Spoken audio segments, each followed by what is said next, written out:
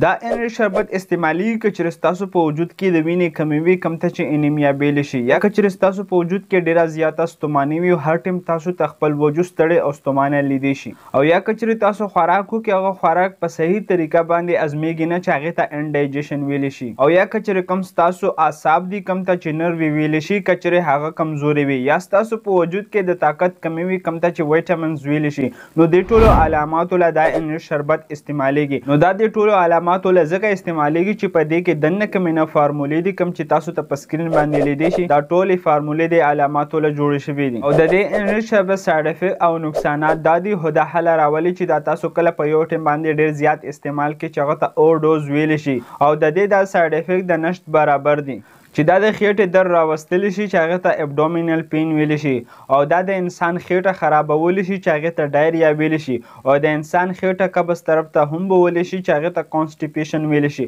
او د انسان زړه هم کچه کولی شي چې هغې ته نوزیا ویلی شي خو دا د نشد برابرې او که چېرې تاسو ته دا بیماري وي نو دا انیس شربت استعمالولو نه وړاندې به خامخا تاسو د ډاکټر نه تپوس کوې ځکه چې دې ته په میډیکل کې کنټرا انډیکیشن ویلی شي. که چېرې ستاسو ګردې خرابې وي یا ستاسو ینه خرابه وي یا ستاسو ته د زړه څه مسله وي یا کله هم چې تاسو دا انې شربت وڅکئ او ستاسو په وجود باندې د الرجي علامات راولي نو په دې دوران کې ضروري خبره دا ده چې تاسو به د ډاکټر نه خامخا تپوس کوې. همدغه شان ميډيسن انفارميشن دپاره اکاونټ درسره فالو کړئ او دا ويډيو درسره مخکې شير کړئ. شکريه الله حافظ.